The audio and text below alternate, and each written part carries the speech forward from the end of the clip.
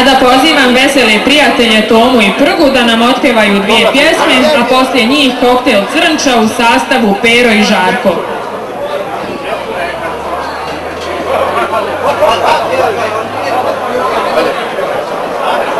Dobro večer.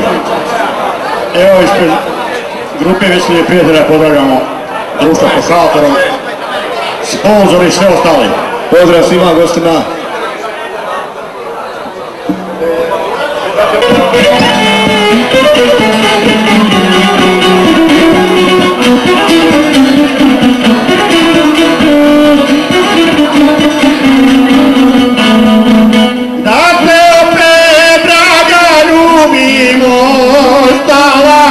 Samo